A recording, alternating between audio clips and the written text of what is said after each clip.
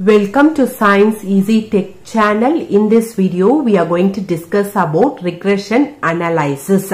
So this video is uh, taken from Unit 7 that is Introduction to Statistics in Nursing Research.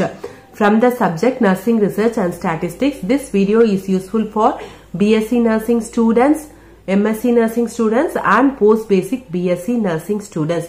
Before moving on to the topic, if you are new to Science Easy Tech channel, just take a moment to subscribe our channel and also to press the notification bell icon in order to get connected with our latest updates. Let's move on to the topic. Regression analysis. See, mostly this regression analysis is important for MSc nursing students. So, in MSc nursing students, they will teach how to do the calculation also. But in BSc nursing students, it is very less important. But in one university question paper, they have asked regression analysis for 5 marks. Suppose if your question comes for regression analysis for 5 marks, what is the answer you have to write? That alone I have discussed in this uh, video.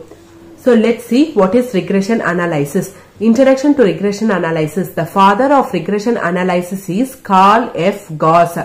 The father of regression analysis is Carl F. Gauss 1777 to 1855. The term regression was first used in 1877 by Francis Galton who used the term uh, regression in 1877. It was first used by Francis Galton. What is regression analysis? Regression means back, stepping back or going back. So regression analysis means it is a study of the relationship between the variables that is two or more variables. So here you are studying the relationship between two or more variables. It is one of the commonly used tool in business analysis. So it is one of the most commonly used tool in business analysis. Thereby you can predict the future, how in the past, how the business has performed and based on that you can plan the future and you can predict the future uh, uh, income or loss, profit, everything you can see by means of this uh, regression analysis. So that's why it is widely used in business. Meaning of regression. The meaning of regression as I have told earlier, it is stepping back or going back. Importance of regression analysis. It provides an estimate of values of dependent variables. So you can uh, know the estimate of values of dependent variables. It can be extended to two or more variables. You can study the relationship between two or more variables. That's why it is called as multiple regression. Okay, it is called as multiple regression if you are going to study two or more variables. Then it shows the nature of relationship, what type of relationship, whether you have a positive relationship or negative relationship, in what direction the relationship is uh, going on. So everything you can study by means of regression analysis. It shows the nature of relationship between two or more variables. So types of regression, you have simple regression, linear, reg multiple regression, linear regression, non-linear regression. Simple regression. So only you are explaining one single variable. Okay, here you are explaining only one explanatory variable or single variable. Multiple regression, many variables you are studying or many explanatory variables you are studying in multiple regression. Two or more variables you are studying. Next is linear reg regression. Here you are studying a linear means line, straight line relationship. See in correlation also you have uh, told about a uh, linear correlation, positive correlation. So linear correlation where you can um, draw a line after plotting the uh, data.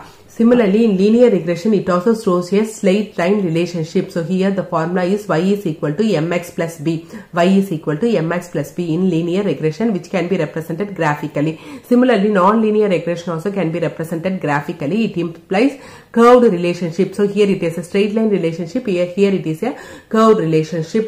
That is logarithmic relationship. Next cross-sectional data, you know that is a data gathered over here um, from same period of time. Okay. Data gathered from same period of time. Time series means data gathered for over a period of time. That is at different uh, points of development or different points of time you are um, calculating. For example, if you want to study the progress of BSc nursing students, first year you will be gathering the data.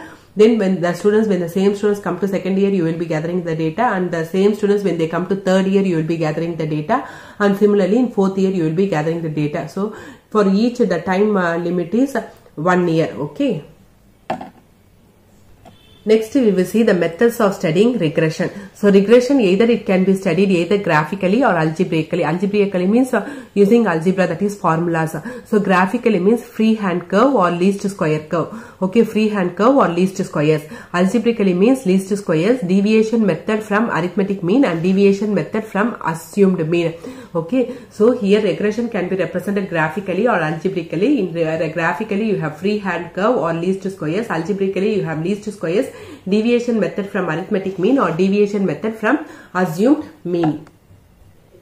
As I have told earlier, I am not going in depth because it is most important only in MSc nursing. But uh, once they have asked a question in BSc nursing in 5 marks, that's why I am uh, teaching this. Uh, algebraically method that is least square method. So, the regression equation of x on y is x is equal to a plus by. The regression equation of x on y is x is equal to a plus by where x is dependent variable y is independent variable. So the regression equation of x on y is x is equal to a plus b y where x is dependent variable and y is independent variable.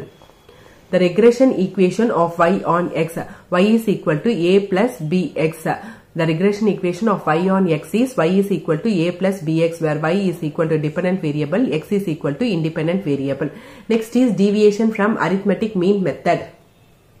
So here the regression equation of x on y is x minus x bar is equal to bxy into y minus y bar. x minus x bar is equal to bxy into y minus y bar. The regression equation of y on x is y minus y bar is equal to byx into x minus x bar. Regression equation of y on x is just write the opposite of x on y like that. Okay, y on x is y minus y bar is equal to byx into x minus x bar where bxy and byx is equal to regression coefficient. See this uh, bxy everything is what? Regression coefficient. bxy can be calculated as summation of x into y divided by summation of y square. bxy that is bxy regression coefficient of x on y is equal to summation of that is sigma xy divided by sigma y square. And byx is equal to sigma xy divided by sigma x square. Okay? So in this way you have to uh, calculate the regression equation of y on x.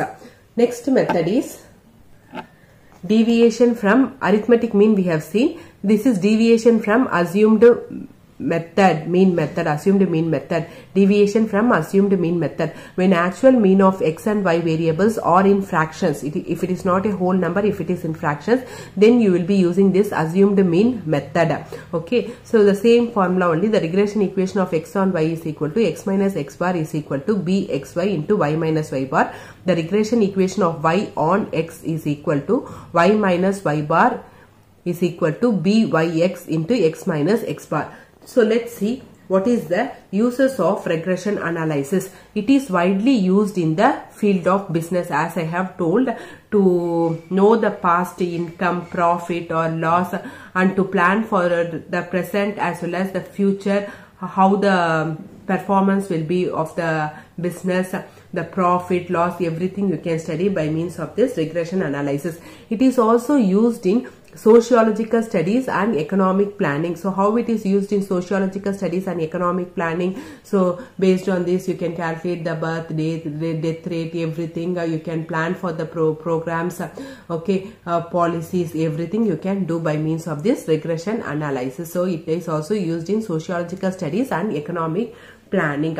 Hope this video is clear for you all. This video is for 5 marks question. I am not uh, uh, teaching about how to calculate the problems and all because in msc level you will be knowing how to calculate the uh, problems and all. For bsc level mostly they are not asking this question. But once i have seen in one question paper they have asked about regression analysis. Suppose if they have asked about regression analysis you should know at least what you have to write for 5 marks. So for that purpose only exclusively i have uh, made this video. If you like my video, please give a thumbs up, share and subscribe to Science Easy Tech channel. My previous videos link I have given in um, description box suggested end card and icon also you can watch our channel playlist nursing research and statistics for both nursing research and statistics related videos and statistics for statistics related videos. Thank you friends. Keep supporting to science easy tech channel